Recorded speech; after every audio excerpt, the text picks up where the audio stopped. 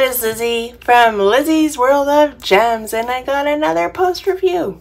Can you believe that too? No, just joking, because the other one was from a long time ago. But let's talk about this Ever Moment. This is from Ever Moment. It is poured glue. It is a 45 by 60. It is a slough. It's an image that you see all over, you know, those cheap sites or whatever. But this one had 76 colors and uh, it's square. It turned out amazing. Um, flowers kind of look pixelated to me, but through the camera, it's gonna not look so pixelated for you guys. Um, I really, really enjoyed doing this. It was super, super confetti heavy, except for these parts here, but there was a little bit of confetti here.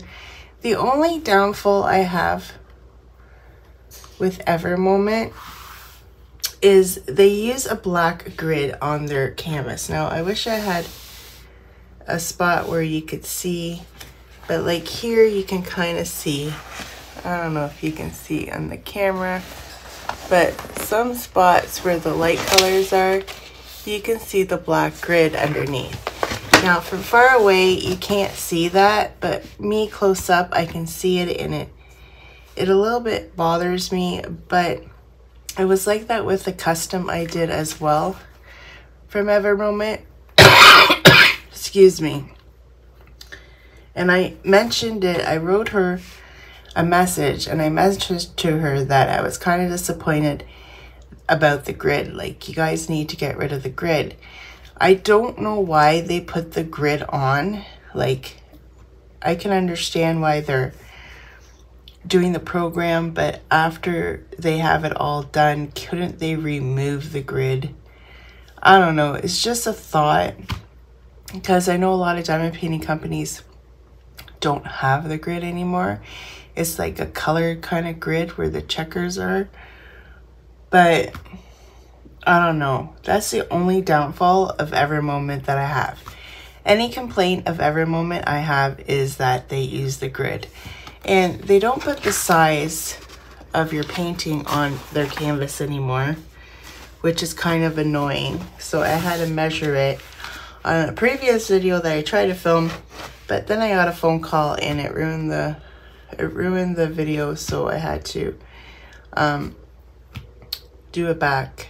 But you know, their canvases now are lint soft, scallop edges. It's all like the premium, but the only thing is there was a lot of glue, which I found very odd for a poured glue that came all the way out to here. That is why I have tape all the way around because the glue went over really, really far. And for a poured glue, I found that very odd. That's why I'm starting to think that it's mounted adhesive, but I don't know for sure. They say it's poured glue. So I'm giving them the benefit of the doubt. But I find that very odd because all the poured glue I have maybe has a little bit, like a little bit over, like maybe like, you know, like right here. But this was all the way down here. That is why I had to put the tape around. And of course I ran out of tape, so I had to use a different type of tape there because I wanted to use these little bunny rabbits, but I didn't have enough bunny rabbits. When you get um, washi tape from, you know, those cheap stores, they don't give you very much in a roll. So, but he turned out really, really cute. A lot of confetti in the sloth himself. And that is why the detail of the sloth is so good. Um, I know I've seen this image done smaller size and it looks very pixelated. It still kind of looks a little bit blurry here and here to me. Over here is like the best one. But, you know, excuse me, I still have a bit of a cough and now the bird wants to talk. I don't know. I like it. It turned out good. I had plenty of drills left over. I didn't run out of any drills. It is a square. I don't know how much more I have to tell you about it other than I really enjoyed it. And even though it was a lot of confetti, I did work this up pretty fast. I can't remember the day I started this. See if I can grab my book and see in my book. Um, the day I started this was oh, right here. I started it June 11th. So I started it June 11th and I finished um what's today? I finished it last night, so July 18th. So a little bit over a month with all the ones that I've been doing. July 19th, 2023. And I still got it right here. No, I did write the end date. So I ended this one on June 15th and I only did the post review now. So it's been a while since I finished that one. So how many have I actually done since the beginning? I started in the beginning of this year. One, two, three, four, five.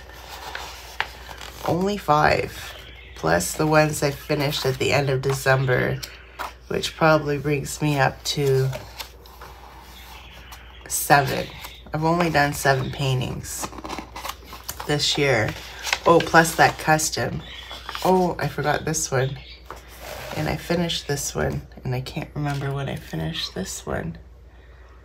I think it was... I have to look at the video and see when I posted that video. So I can't remember when I finished the cat. So how many now? One, two, three, four, five, six, six, seven, eight. Probably about eight I finished this year. But two of them were from the previous year that I don't have in here. Or maybe it, it was even more. I finished everything that was hanging up. So now I'm all caught up again because I finished the sloth. This one is done, but I can't remember the date. I have to look it up. This one was really fast. I'm thinking... I'm thinking I finished this at the end of June. So this one didn't take me long at all, but it was only it doesn't, uh, 50 by, a 30 by 50. So I'm gonna start my new one here. I got a new one that I'm going to put there. And I really like this book because it keeps track of everything I've done this year. I just started using it this year you can buy this on Amazon. It is from Jennifer Roberts, which is DP Addiction Adventures on YouTube. If you want to look up this book, it's Diamond Painting Guide and Logbook. And I started using the logbook this year, even though I've had the book for a little bit. And there's lots of pages, so I can continue on using this probably for a couple more years, the way I'm going. but anyway, um, that is it. The bird is talking, so I'll let you guys all go. I hope you enjoy this post review of my sloth. I'll let you look at it one more time. Lots of colors left over. Didn't run out of anything. Super, super cute. You know, it was my mascot there for a little bit. So that is why this was gifted to me from a subscriber and I really enjoyed doing it. Um, till next time, take care, everyone. Bye. Well, folks, that's it for today's video. If you liked it, please give me a thumbs up. And if you like, please subscribe to my channel. I'd be super tickle pink. And remember to hit that notification bell and it will remind you whenever I load up a video. And till next time, take care, everyone. Bye.